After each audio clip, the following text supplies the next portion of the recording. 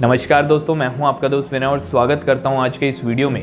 दोस्तों machine learning data science deep learning overall बोला जाए आर्टिफिशियल इंटेलिजेंस इस टॉपिक पे इस वीडियो में एक डिटेल डिस्कशन करने वाला हूँ। आपको हर एक बात बताऊँगा जो मोस्ट ऑफ़ द लोगों के मन में डाउट के तौर पे रह जाती हैं। ठीक है हम सोचते रह जाते हैं फैंटेसी बनाते जाते हैं। ये जो शब्द हैं, जब भी मैं सुनता हूँ data science machine learning deep learning जब मैं पहले सुनता था, जब मुझे ये सब नहीं आता था तो एक अलग तरीके का परसेप्शन मैंने बना के रखा था। एक अलग तरीके की दुनिया मैंने बना के रखी थी। ठीक है, आज के कुछ साल पहले। ठीक है, मुझे लगता था कि क्या मुझे अगर ये सारी चीज़ें आती तो शायद मैं भी कहलाता एक स्किलफुल इंसान। आखिर क्या फ़ायदा है इन डोमेन्स का? और आखिर लोग इस डोमेन में क्या कर रहे होते हैं ऐसा? ठीक है, जो इतने पैसे छाप रहे हैं आजकल। और आने वाले समय में ये जो फ़ील्ड है ये सबसे ज़्यादा प्रचलित फ़ील्ड होने वाला है। No doubt hundred and one percent के साथ बोल सकता हूँ इसी फ़ील्ड में आगे फ्यूचर है ठीक है? और सबसे ज़्यादा जो पैसे मिलेंगे लोगों को वो इसी फ़ील्ड में मिलने वाले हैं। तो दोस्तों ऐसा क्या होता है machine learning data science deep learning में? इस वीडियो में आपको बताऊँगा। तो, तो ऐसा है कि जब भी आप अमेजोन वाली साइट खोल रहे होते हो फ्लिपकार्ट खोल रहे होते हो, या फिर कोई भी इस तरीके की साइट खोल रहे होते हो तो आपने देखा होगा कुछ रिकमेंडेशन आपको हर बार दिखती हैं। आप नहीं भी कुछ करते तो भी दिख जाती हैं। एक तरीके की जूते खोजने जाते हो, उसी टाइप के एन नंबर ऑफ़ जूते आपको दिख जाते हैं। ठीक है? आजकल तो ये भी देखने को मिलता है कि हम एक पर्टिकुलर ऐप में लॉगिन किए, जैसे अमेजोन में ही लॉगिन किए, हमने कुछ देखा मिंत्रा में मान लो देखा और उसके बाद फिर हम गए इंस्टाग्राम पे फेसबुक पे। तो वहाँ पे भी सेम प्रोडक्ट की एडवर्टीजमेंट अपने को देखने को मिल रही होती है। ये सब कैसे होता है? ये सब आर्टिफिशियल इंटेलिजेंस से होता है।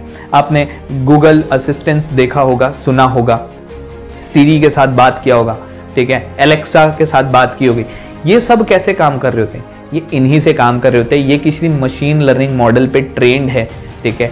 और ये आपको आउटपुट दे रहे होते हैं। तो असलियत में होता क्या है? मशीन लर्निंग में मशीन लर्निंग में एक मॉडल बनाया जाता है। वो मॉडल को डेटा के थ्रू ट्रेन किया जाता है। ठीक है? उसको सिखाया जाता है बिल्कुल उसी तरीके से, जिस तरीके से इंसानों को सिखाते हैं। हम अगर नहीं बताएँ किसी एक छोटे से बच्चे को कि वो कुत्ता है, वो बिल्ली है तो वो नहीं जानेगा। जब हम उसको बता देते हैं कि ये जो है, ये कुत्ता है तो उसको पता चलने लगता है थोड़े दिन में कि अच्छा ये कुत्ता होता है। इस तरीके का जो चीज़ होता है, वो बिल्ली होता है। तो अगली बार एक दूसरे टाइप का कुत्ता अगर वो देखता है तो वो बता देता है कि हाँ यार, ये तो कुत्ता है, ठीक है? तो बिल्कुल उसी तरीके से मशीन लर्निंग मॉडल को भी ट्रेन किया जाता है। बहुत सारा, ढेर सारा डेटा दिया जाता है, ठीक है? और उसी तरीके से डीप लर्निंग है हमारे पास। डीप लर्निंग एडवांस वर्जन आप समझ लो मशीन लर्निंग का है। जहाँ पे अगर आपके पास डेटा बहुत सारा इनॉर्मस डेटा हो तो आप मशीन लर्निंग मॉडल ना यूज़ करके डीप लर्निंग मॉडल यूज़ करते हो। क्योंकि अगर डेटा बहुत है तो डीप लर्निंग मॉडल ज़बरदस्त एक्यूरेसी देगा as compare to machine learning model लेकिन डेटा बहुत ज़्यादा नहीं है तो आप कॉम्प्लेक्स काम करने से अच्छा आप मशीन लर्निंग मॉडल के पास जाओ, वो भी आपको ज़बरदस्त एक्यूरेसी देगा और ज़बरदस्त परफॉर्मेंस वो करके देगा।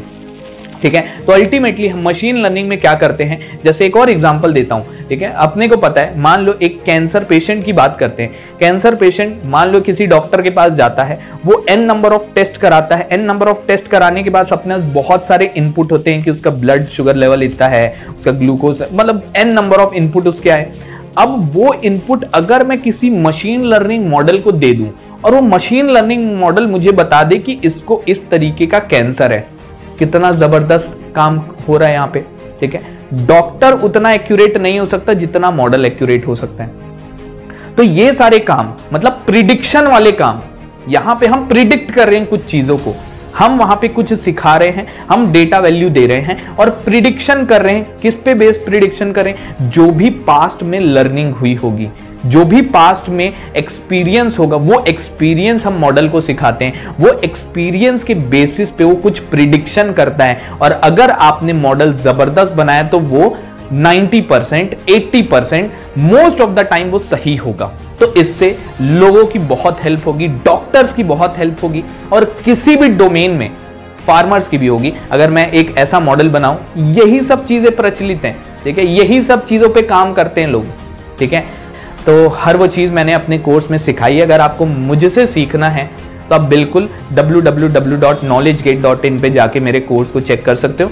डिस्क्रिप्शन में भी आपको लिंक मिल जाएगा। आप सब कुछ एक्सप्लोर कर सकते हो कैसा कोर्स है। वहाँ एक नहीं, दो नहीं, तीन नहीं, चार नहीं एन नंबर ऑफ़ प्रोजेक्ट्स आपको मिलेंगे। जो भी चीज़ मैंने वहाँ पर कराया है हैंड टू हैंड आपको प्रोवाइड किया जाएगा। आपको कहीं पर भी भटकने की ज़रूरत नहीं होगी। इधर से डेटा सेट लेना है, उधर से कोड लेना है। ऐसा कुछ नहीं। हर चीज़ आपको, आपके हाथ में मिलेगी। और सबसे अच्छी बात, मैं वहाँ पे जिस तरीके से बताया हूँ, कोशिश की हूँ कि मोस्ट एफिशिएंट तरीके से कोई भी एल्गोरिदम कोई भी मॉडल आपको वहाँ पे सिखा सकूँ।